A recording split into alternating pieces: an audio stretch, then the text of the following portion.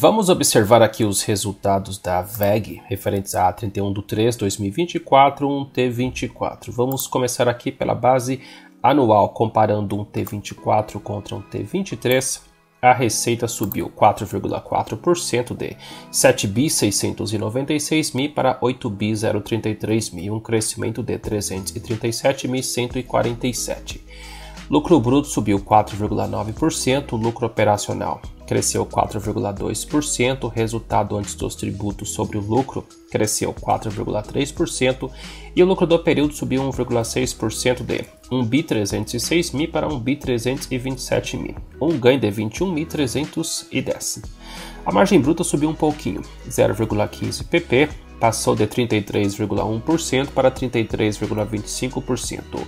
Margem operacional caiu 0,03 pp e a margem líquida recuou 0,45 pp, passou de 16,98% para 16,53%. Números bons aí, ok, apesar aqui da redução na margem operacional, margem líquida, números ok aí. Crescimento, ok, tudo certinho por aqui na base anual. Aqui na base trimestral do 4T23 para um T24, a receita caiu 6,2% de 8 bi 561 mil para 8 bi 033 mil, uma redução de 527.979.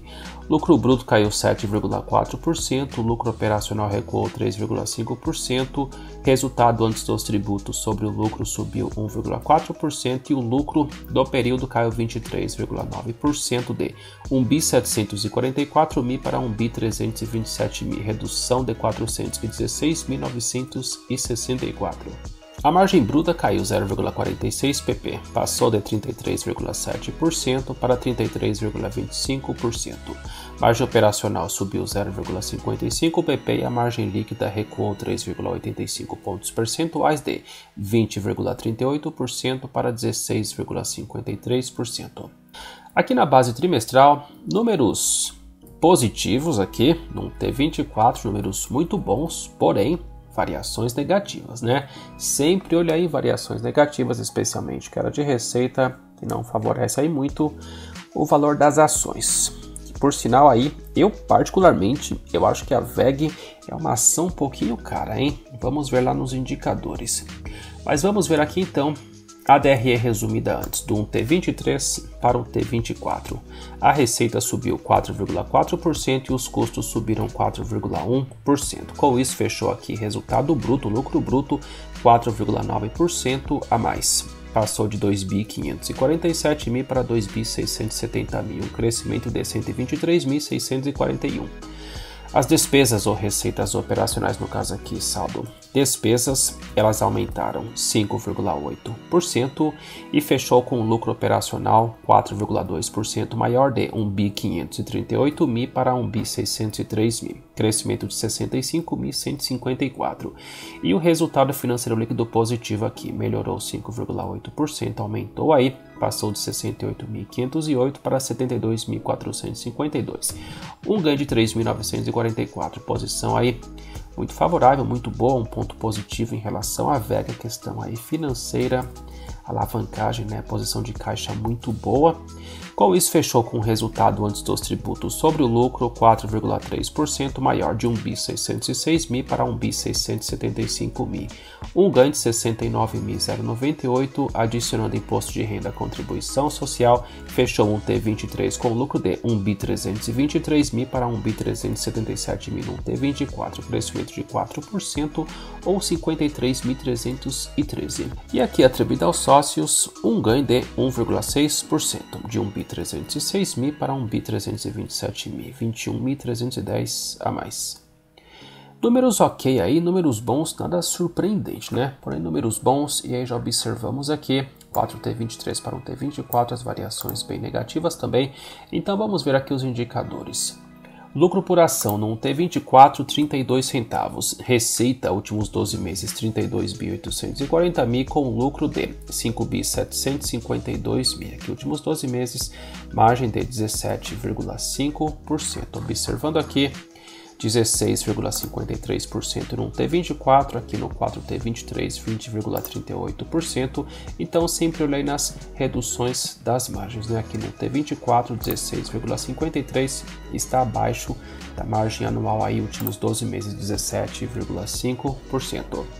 Lucro por ação últimos 12 meses R$ 1,37, valor da ação utilizado para os cálculos R$ 38,15, com um PL últimos 12 meses de 27,83. Eu acho um PL um pouco elevado, hein? um PL acima de 10 para os padrões atuais da economia, eu acho um pouco elevado. E aqui está bem acima de 10, né? 27,83 é uma faixa aí bem premium, né? De PL.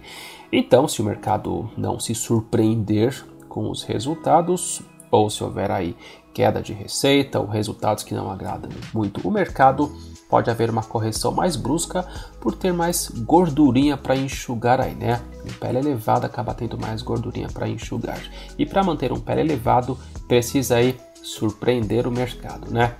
PSR em 4,88, um PSR bastante elevado, hein? Um PSR acima de 2, já fico de olho, acima de 3 aí, e aqui tá quase batendo no 5 ali, né? 4,88, um ponto de atenção aqui. E o PVP 9,2, também bastante elevado, em valor patrimonial por ação R$ 4,15, estamos pagando 820% a mais. Estamos pagando R$ 38,15 por uma ação que vale R$ 4,15, de acordo com o valor patrimonial por ação. Então, eu acho a VEG uma ação um pouco cara, né? Com base aí nos indicadores. Então, precisa aí continuar surpreendendo, trazendo ótimos resultados, mas é muita antecipação de lucros aí, né? Com base nos indicadores. Eu, particularmente, eu acho a VEG uma ação cara. Vamos ver aqui, retorno sobre o patrimônio líquido, 33%, um retorno muito bom, hein? Acima de 15% é um retorno bom e aqui está em 33%. Os resultados são bons, né? Apenas eu acho aí que os indicadores estão um pouco aí bem acima da média do mercado, né? Porém, números excelentes, resultados excelentes. Patrimônio líquido 4T23 para um T24, variação de 65.254 positivo. Não houve alteração aqui no capital social realizado. 4T23 para um T24, número de ações permanece o mesmo aqui também.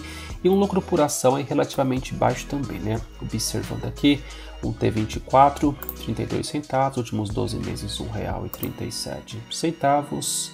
Tem muitas ações aí também, né? Valor de mercado 160 bi, 127 mil com dividendos de 1,7% últimos 12 meses. A minha mão de vaca também a VEG, né? Paga aí 1,7%, lucros bilionários, tá com bastante dinheiro no caixa aqui, ó. 3 bi 845 mil no caixa, aí dívida líquida negativa. Então eu acho meio mão de vaca, né? A VEG aí. Vamos ver aqui a variação do valor das ações. Elas começaram em 2024 valendo R$ 36,57, com base na cotação R$ 38,15, um ganho de R$ 1,58 ou 4,3% a mais. Um ano antes valiam R$ 39,90, uma queda de R$ 1,75 ou menos 4,4% de um ano para cá. E elas começaram 2023 valendo R$ 38,10 e fecharam o ano valendo R$ 36,91, uma queda de R$ 1,19 ou menos 3,1%.